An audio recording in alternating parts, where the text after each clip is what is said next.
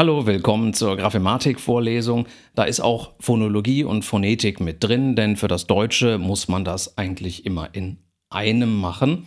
Und Sie sehen dann warum. Der Plan für heute. Wir sprechen über Graphematik als Teil der Grammatik. Nicht alle sehen das so, dass Graphematik ein Teil der Grammatik ist. Und dann verschaffen wir uns einen kleinen Überblick über Schreibprinzipien, was Schreibprinzipien überhaupt sind. Graphematik. Schrift und Schreibung. Damit beschäftigt sich die Graphematik.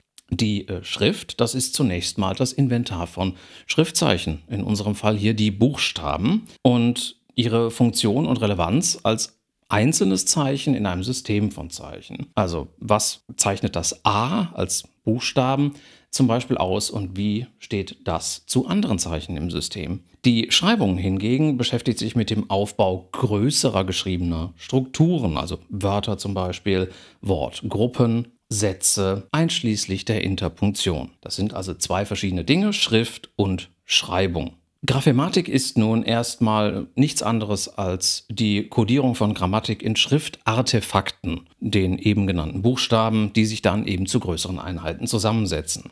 Sie kennen phonologische Prinzipien, also dass das R, das Phonem, wenn Sie das so gelernt haben, das zugrunde liegende Segment R mal als R realisiert wird, ausgesprochen wird, wie in Rad und manchmal eben nicht wie in Bar. Also das heißt nicht Bar sondern bar. Und wir schreiben hier aber tatsächlich auch ein und denselben Buchstaben, nämlich das R, so wie Sie es hier sehen. Sie kennen vielleicht auch sowas hier, also das sogenannte Silbengelenk. Wir wiederholen das alles, keine Sorge. Also in Mathe zum Beispiel haben Sie ja nicht wirklich zwei T. Wir schreiben zwei T, die markieren aber nichts anderes, als dass da ein sogenanntes Silbengelenk ist. Auf der morphologischen Seite haben wir so etwas wie Tritt, das schreiben wir mit Doppel-T. Warum eigentlich? Naja, eigentlich, wie Sie sehen werden, nur weil es das Wort Tritte gibt. Da haben wir ein Silbengelenk und da müssen wir ein Doppel-T schreiben. Und weil die morphologisch zusammengehörigen Formen eines Stamms idealerweise im Deutschen möglichst gleich geschrieben werden, haben wir auch hier bei dem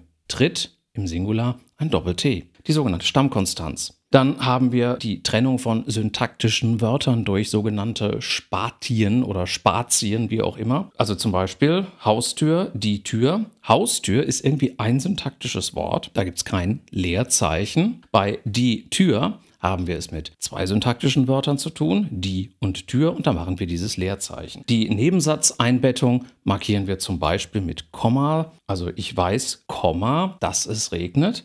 Das sind alles grammatische Sachverhalte, zu denen die Graphematik etwas zu sagen hat wo die Graphematik also was anbietet, eine bestimmte Kodierung, um zu markieren, was da grammatisch eigentlich los ist. Vor diesem Hintergrund können wir uns jetzt anschauen, was die Graphematik zu sagen hat, wenn was nicht in Ordnung ist. Fine findet, dass die Schuhe gut aussehen. Ja, das stimmt was nicht. Wenn ich Geld hätte, nehme ich den Kopfhörer mit. Um voranzukommen, nimmt Fine an der Fortbildung teil. Zurück bleibt der Tisch nur, wenn der LKW randvoll ist. Sie sehen sofort, zurück bleibt sollten wir eigentlich als zwei Wörter mit einem Leerzeichen Spatium getrennt schreiben. Was wir hier haben, ist im ersten Fall, bei diesem das, eine einfach eine falsche lexikalische Schreibung. Das Wort existiert mit einem S, es ist aber hier die falsche Wortklasse, natürlich letztlich einfach auch das falsche Wort.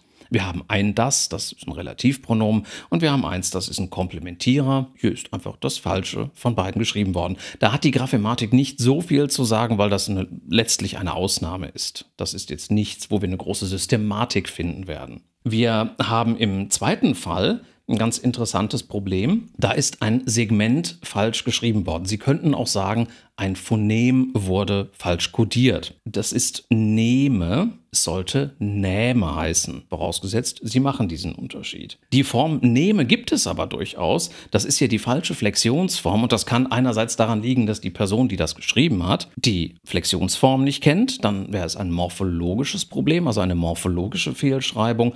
Oder die Person stammt vielleicht aus einer Gegend, wo man den Unterschied zwischen E und Ä nicht wirklich realisiert. Und dann klingt das Wort in beiden Formen, also der Konjunktiv und der Indikativ, klingt für die Person einfach gleich. Im nächsten Fall, also hier, haben wir eine falsche Wortklassenschreibung. Das Wort existiert, so wie nehme auch existiert. Teil ist ein Substantiv des Deutschen. Hier ist es aber nicht wirklich das Substantiv, sondern es handelt sich hier um einen Bestandteil eines Verbs. Teilnehmen. Und Sie wissen, dass bestimmte Verben getrennt werden. Aber Teil groß zu schreiben hier ist ziemlich absurd. Hier ist ein falscher morphosyntaktischer Status dieses Worts hier hinten kodiert durch die Großschreibung. Zurück bleibt der Schreibtisch nur, wenn der LKW-Rand voll ist. Hier haben wir eine falsche Wortschreibung. Also hier sollte eigentlich ein Spatium im Wort sein. Es sollten zwei Wörter sein und nicht ein Wort. Zurück bleibt ist aber auch wieder eine Form, die existiert. Sie sehen, dass alle diese orange geschriebenen Wörter für sich genommen existieren.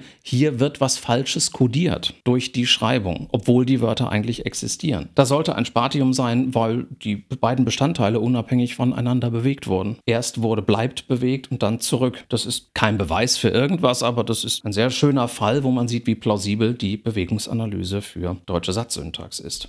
Kollegen im Fach behaupten manchmal immer noch, geschriebene Sprache, also das, womit wir uns in der Graphematik beschäftigen, sei irrelevant für die Linguistik. Es gehe uns nur um die gesprochene Sprache. Wenn Sie mich fragen, ist das eine ganz klare Ente, diese Behauptung. Argumente gegen Graphematik letzten Endes sind zum Beispiel, dass Schrift nicht natürlich sei, sondern dass sich das Menschen ausgedacht hätten. Wer sich die Geschichte der Schrift anschaut, wird bis auf wenige Ausnahmen feststellen, dass Schrift und Schreibung sehr natürlich und nicht geradeaus auf einem klaren Weg gewachsen sind. Man kann nicht davon sprechen, dass sich das Menschen ausgedacht haben. Das ist genauso dem Wandel unterworfen wie gesprochene Sprache. Dann wird zum Beispiel behauptet, die gesprochene Sprache sei im Erwerb primär, also Kinder lernen zuerst gesprochene Sprache und dann geschriebene Sprache. Das ist zweifelsohne korrekt. Aber wieso sollte das heißen, dass Schrift und ihre Erforschung irrelevant seien? Verstehe ich einfach nicht. Nur weil etwas zuerst gelernt wird, heißt nicht, dass das als zweites Gelernte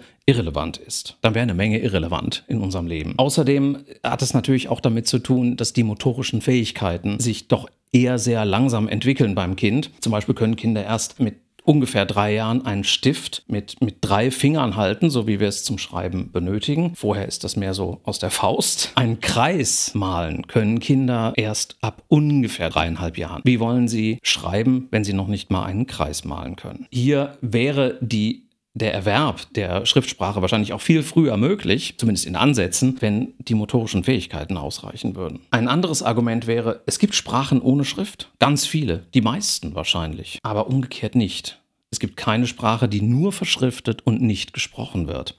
Das ist so ein ähnliches Argument wie das hier oben, denn ich verstehe nicht, warum wir uns deshalb nicht mit Schrift beschäftigen sollten. Es gibt viele Atome ohne Elektronen, sogenannte Ionen. Das heißt, die Beschäftigung mit Atomen, die Elektronen haben, ist damit irrelevant. Sie sehen, wie absurd das ist. Aber warum sollte das bei Sprachen und Schrift anders sein? Dann wird gesagt, Schrift werde eben nicht spontan produziert. Nicht so spontan wie gesprochene Sprache. Wir haben sowas wie Bildungssprache im gesprochenen und geschriebenen. Die ist, wie man sagen würde, überformt. Das heißt, wir versuchen bestimmte formale Kriterien zu erfüllen mit Bildungssprache, was wir nicht tun, wenn wenn wir einfach nur einkaufen gehen oder uns mit unserer Familie oder unseren Freunden unterhalten. Das tun wir aber auch im gesprochenen Modus. Sie hören mich gerade Bildungssprache sprechen und ich reiße mich verdammt zusammen, dabei möglichst auch standardkonform zu sprechen. Ist das jetzt irrelevant?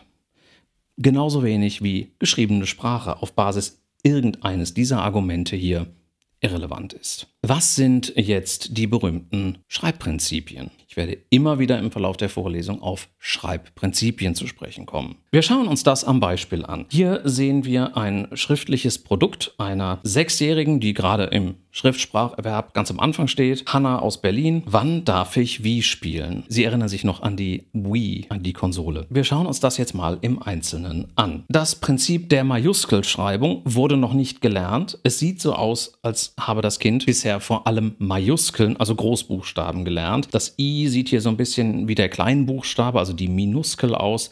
Ansonsten sind das alles Majuskeln. Würden wir jetzt nach einem abgeschlossenen Schriftspracherwerb nicht mehr erwarten. Außerdem hat Hannah das Prinzip der Spatienschreibung nicht gelernt. Was heißt jetzt hier Prinzip? Na, ich habe eben schon mal angedeutet, wir trennen syntaktische Wörter mit Leerzeichen, also Spatien. Das passiert hier nicht. Die Zeile endet immerhin nach einem Wort. Das kann Zufall sein, wahrscheinlich ist es kein Zufall. Ansonsten wird einfach alles in einem geschrieben. Die Schreibung wann hier im ersten Wort mit einem N, das ist keine Prinzipverletzung. Wann mit einem N zu schreiben, ist eigentlich falsch, aber gar nicht, was die Prinzipien der Schreibung angeht, gar nicht so blöd. Im Prinzip kämen wir sehr gut aus, wenn wir das mit einem N schreiben würden. Wir tun das nicht, weil das eine Eigenheit eigentlich dieses einen Wortes ist. Darf hier haben wir eine phonetische Abweichung vom Standard. Das Kind ist aus Berlin und sagt nicht darf, sondern darf. Das ist einfach ein langes A. Damit schreibt das Kind hier durchaus das, was im eigenen phonetisch-phonologischen System verankert ist. Es kann halt die Standardaussprache und damit auch die Standardschreibung hier noch nicht. Das hat erstmal mit grammatischen Prinzipien wenig zu tun. Ich ist einwandfrei, das Wort wurde wahrscheinlich einfach so gelernt. Hier haben wir auch die einzige andere Minuskel übrigens. Wie, der Name der Konsole, diese Dehnungsschreibung mit I, also diese Anzeige von Länge durch Doppelschreibung, ist beim I total atypisch im Deutschen. Das macht sie richtig wichtig, weil es ein Produktname ist. Bei Spielen haben wir was ganz Interessantes, denn eigentlich haben wir im Deutschen ein Schreibprinzip, das jedes Phonem, ich sage jetzt einfach mal Phonem oder eben zugrunde liegendes Segment, einem Zeichen entspricht. Diese Zeichen können auch aus zwei oder drei Buchstaben bestehen, wie in ich, also ich und sch, wie in schön. Und hier in diesem Wort spielen gibt es eine halbsystematische Ausnahme. Sie wissen ja, wir schreiben SP, obwohl wir sp sprechen an der Stelle und da auch kein S zugrunde liegt. Und diese Ausnahme vom Prinzip hat sie nicht gelernt. Diese Ausnahme, dass vor bestimmten Lauten, wenn am Anfang des Wortes ein S steht, dass man das irgendwie atypisch ausspricht. Deswegen schreibt sie SCH. Außerdem schreibt sie hier ein B. Warum eigentlich? Da kommen wir vielleicht in der Phonetik, Phonologie nochmal drauf zurück. Das hat ein bisschen damit zu tun, wie wir nach Sch das P eigentlich aussprechen. Nämlich gerade nicht als P, sondern Sp spielen. Außerdem haben wir hier ein langes i, was wir mit IE schreiben im Standard. Wir schreiben da die Dehnungsschreibung. Die ist total komisch. Die IE-Schreibung, das ist eine Dehnungsschreibung wie keine andere Dehnungsschreibung. Das hat sie einfach noch nicht gelernt. Und der letzte Teil des Wortes L ohne E. Hier haben wir auch wieder eine phonetische Abweichung vom Standard. Sie sagt wahrscheinlich spielen und nicht spielen, wobei das mit Standard eigentlich schon gar nichts mehr zu tun hat, denn im Standard darf man das durchaus auch ohne Vokal mit einem silbischen L, wie man dann sagt, realisieren. Sie sehen, an wie vielen Stellen man hier linguistisch etwas zu sagen kann. Nicht alles davon ist wirklich primär graphematisch. Nicht alles betrifft Prinzipien. Vieles betrifft Ausnahmen von Prinzipien. Warum kann die Schülerin nichts dafür? Nein, erstmal, weil sie ganz am Anfang steht. Am Anfang macht man immer sehr viele Fehler beim Schreiberwerb. Außerdem wurde sie aber wahrscheinlich nach der Hinhörschreibung unterrichtet, wo man sagt, na, schreib erstmal so, wie du es hörst. Und dann passieren ganz viele von den Dingen, die wir gerade gesehen haben, ganz typisch unter dieser Methode. Wir schreiben nicht, wie wir sprechen im Deutschen. Und deswegen hat es keinen Zweck, zu versuchen zu schreiben, wie man hört. Ihr Hinhören kann Hannah sehr gut. Sie realisiert da Sachen in der Schrift, die viele später nicht mehr bereit sind zu hören. Wie zum Beispiel, dass es keinen Vokal gibt bei den meisten Sprechern in Spielen hinten in der letzten Silbe. Das kann sie wunderbar. Außerdem ist sie eventuell nach der Ausprobierschreibung unterrichtet worden. Das sieht man daran, dass sie ganz viele Abweichungen von den Prinzipien einfach überhaupt nicht beherrscht. Das ist das Ergebnis des Ausprobierens. Wenn man nämlich einfach ausprobiert, hält man sich eventuell zu sehr an die Prinzipien und lernt die Ausnahmen nicht dann gilt halt auch das, was wir uns selber erarbeiten, also ausprobieren, egal wie alt wir sind, ob wir fünf sind, sechs oder sechzig, dass wir uns das besonders gut merken. Das heißt, diese Dinge, die sie hier falsch macht, wenn sie die ein halbes Jahr, ein Jahr, anderthalb Jahre falsch machen darf, hat sie sich die wahrscheinlich sehr gut eingeprägt. Harte Prinzipien wurden hier offensichtlich nicht unterrichtet, bisher zumindest. Spartienprinzip, Majuskelprinzip nicht. Das kann natürlich noch kommen. Da wollen wir jetzt auch nicht über die Stränge schlagen mit der Kritik. Das war's für heute schon. Das war nur die kleine Einleitung. Nächste Woche geht's dann weiter mit der Wiederholung der Phonetik und wir werden dann über Phonologie sprechen, über das phonographische Schreibprinzip. als Fortsetzung der Besprechung der Phonologie. Und das werden wir trennen in zwei Sitzungen, einmal Konsonanten, einmal Vokale. Dann reden wir über Silbenphonologie und dazu gehört vor allem im Deutschen die Dehnungsschreibung. Dann sprechen wir über SZ, nochmal Dehnung und Konstanzschreibung. Dann geht's, Sie haben schon gesehen, wir reden über Leerzeichen auch und über Großbuchstaben, Spatien und Majuskeln eine Sitzung. Dann reden wir eine Woche lang nur über das Komma, da ist ja auch einiges zu, zu sagen. Und dann nochmal über Punkt und sonstige Interpunktion. Das ist der Plan für das ganze Semester. Zehn Sitzungen. Ich hoffe, Sie schauen sich die nächste Vorlesung auch an. Bis dahin, vielen Dank.